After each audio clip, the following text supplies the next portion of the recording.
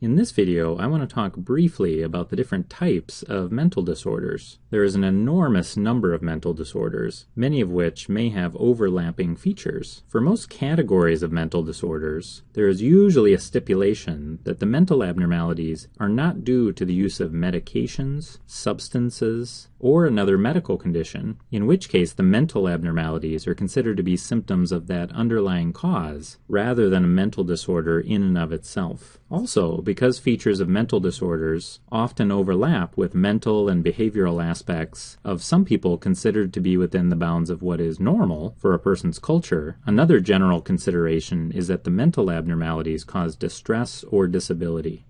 Distress or disability. Distress or disability.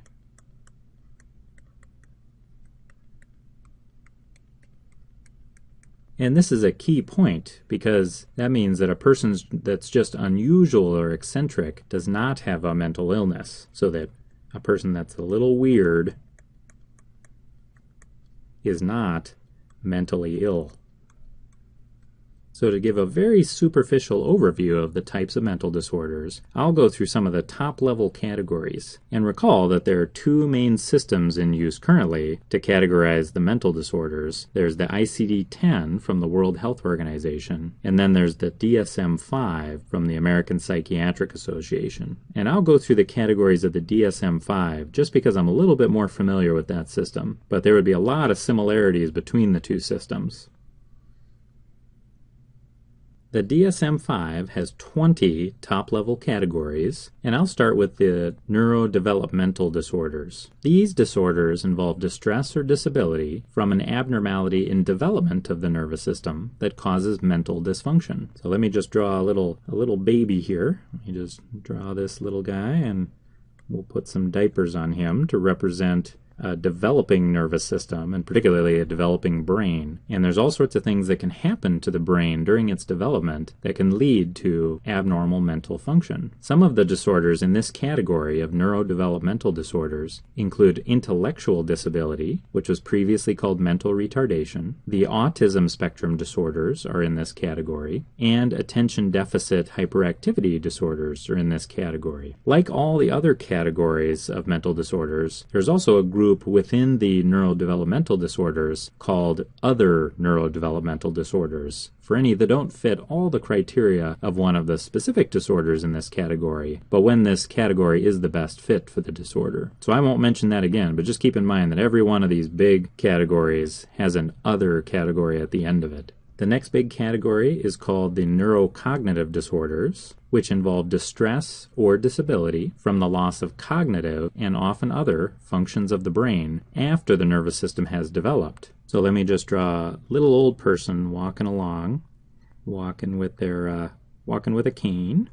And the distinction here between these neurocognitive disorders and the neurodevelopmental disorders is that with the neurocognitive disorder, the, develop, the nervous system developed and then lost functions, as opposed to the neurodevelopmental disorders, where usually the function was never gained in the first place because the abnormality of the nervous system happens during development. There are a couple of big categories of disorders within the neurocognitive disorders. One is called delirium, and delirium is the name for a reversible episode of abnormalities of cognitive and other higher brain functions from many potential causes, such as certain drugs, abnormalities of certain components of the blood, or certain types of infections. Major neurocognitive disorder, which is also called dementia, and its milder versions, usually involve irreversible and often progressive loss of cognitive and other higher brain functions from many potential causes, such as Alzheimer's disease or stroke. The sleep wake disorders involve distress or disability from abnormalities related to sleep. So let me just draw this. There's a person over here who's got their eyes closed and they're very sleepy. I'll just say they are sleeping. So here they're snoring away, and this will represent our sleep wake disorders. Disorders in this category include insomnia and breathing related sleep disorders that involve insufficient amounts of uninterrupted sleep. And there are other disorders in this category that cause abnormal sleepiness when awake. Additional disorders in this category involve abnormal behaviors during sleep, such as sleepwalking. The anxiety disorders involve distress or disability from abnormal amounts of worry or fear. So for these, let me just draw a little kind of worried person over here just looking very, very worried about this whole situation. Some of the anxiety disorders are specific to certain stimuli, which are known as phobias. Like a lot of people have a phobia of spiders or snakes, while other disorders in this category are not specific to certain stimuli, including a common one called generalized anxiety disorder. Panic disorder is in this category, which involves panic attacks which are episodes of intense anxiety that may cause people to be afraid to leave their homes. The depressive disorders involve distress or disability from abnormally negative mood. Let me put a frowny face right here to represent abnormally negative mood.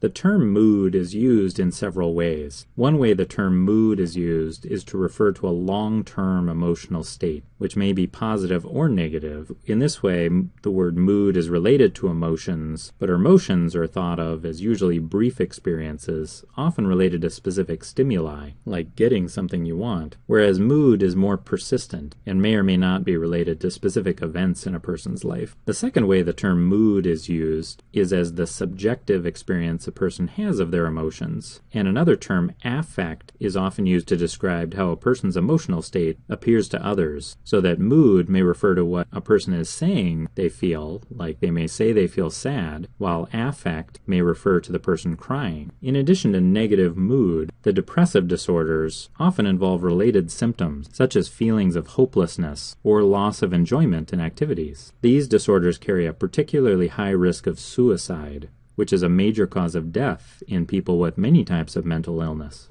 Bipolar and related disorders involve distress or disability from abnormal mood, similar to the depressive disorders, but the difference is that these disorders may have periods of abnormally positive mood, which are called mania. So let me draw, in addition to this uh, frowny face here, let me draw a very happy face and maybe a too happy face kind of a way too happy face for mania.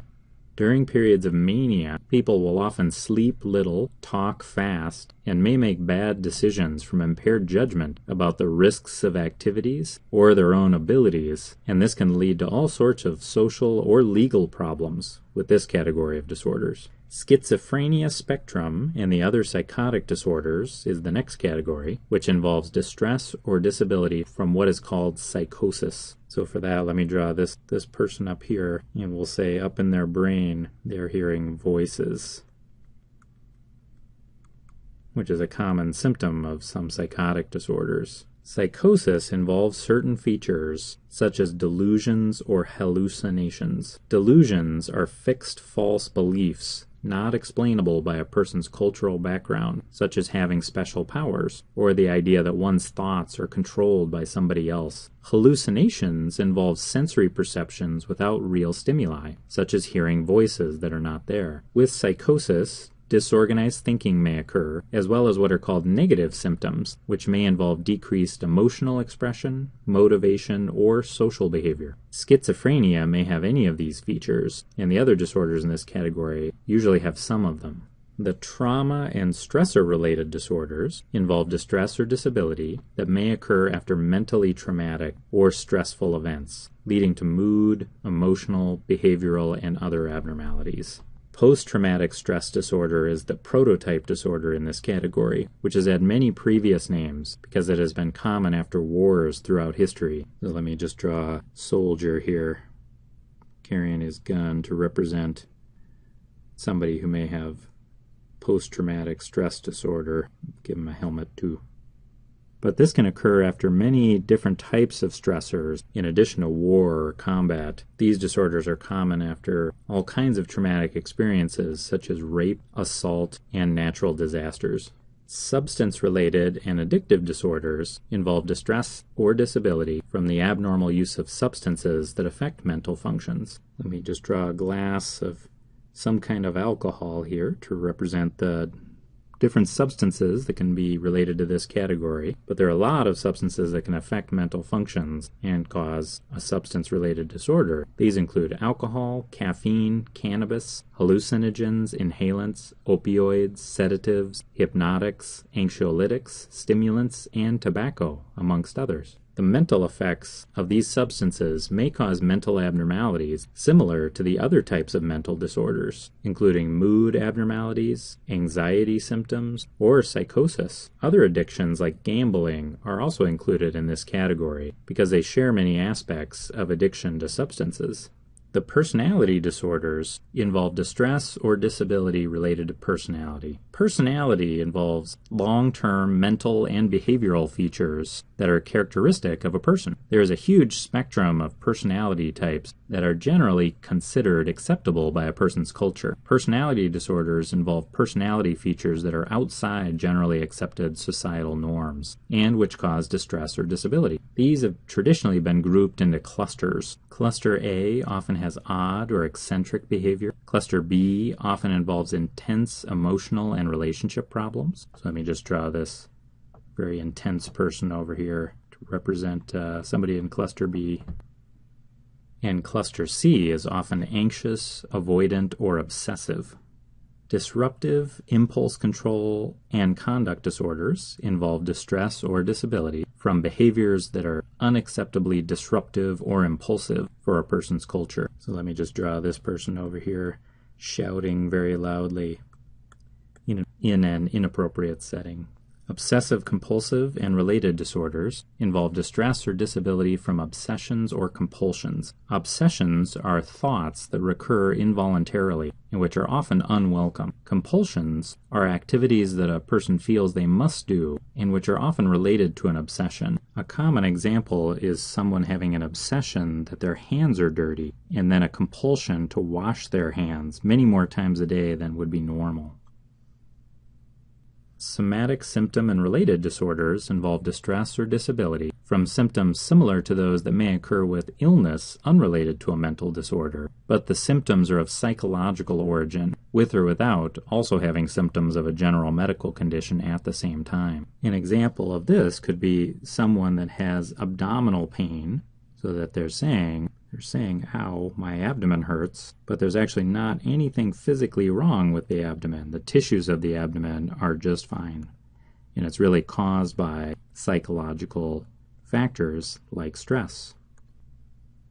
Feeding and eating disorders involve distress or disability from mental or behavioral abnormalities related to food. Disorders in this category include anorexia nervosa, where a person takes in an insufficient amount of food, so we'll say this person is turning down a perfectly nice slice of pizza, even though they're actually way below their healthy body weight.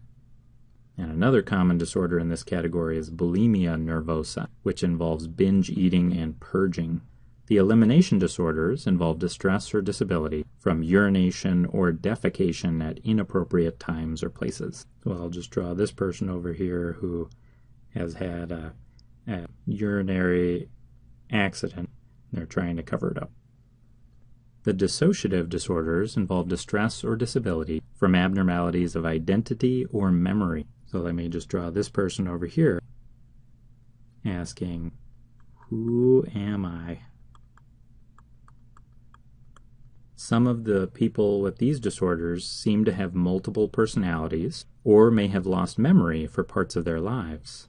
The sexual dysfunctions involve distress or disability from abnormalities in or performance of sexual activity. So we'll just write R rated over here. Gender dysphoria involves distress or disability caused by a person identifying themselves as a different gender than that identified by society. So, as an example, let me just draw a person here who society identifies as being male, and I'll just represent that with pants, but they themselves feel that they are female. And I'll just represent that with a skirt. This category requires an important distinction to be made. If people experience distress or disability regarding gender identity, the distress and disability constitutes the disorder. A person identifying with another gender without distress or disability does not have a mental disorder. Previously, there was much stigmatization surrounding this issue, and older categorization systems that did consider identification with another gender as a mental disorder in and of itself. The paraphilic disorders involve people that have distress or disability related to having sexual arousal to unusual stimuli, or what would be considered unusual for that person's culture. So I'll also just point this over to the R rating over here. So now similarly to gender dysphoria, people that have sexual arousal to unusual stimuli do not have a mental disorder unless it causes distress or disability. Or for this category, activities related to it could cause harm to another, particularly children or other people without sufficient decision making capacity for proper consent. The last category is just called other disorders. And I'm just going to draw a big question mark here for this one. And the entire purpose of this category is for any person that appears to have a mental disorder causing distress or disability, but one that doesn't fit well in any of these other categories of mental disorders. The vast majority of people with a mental disorder will fit in one of these big categories of mental disorders, but very rarely a person just won't fit but does clearly have a mental disorder. And that's what this other disorders category is for. So that's all I have time for now. And obviously, there's a lot more information with all the specific disorders that are contained within these top level categories of the DSM 5. But to keep this video to a reasonable length, I'm just going to stop right here.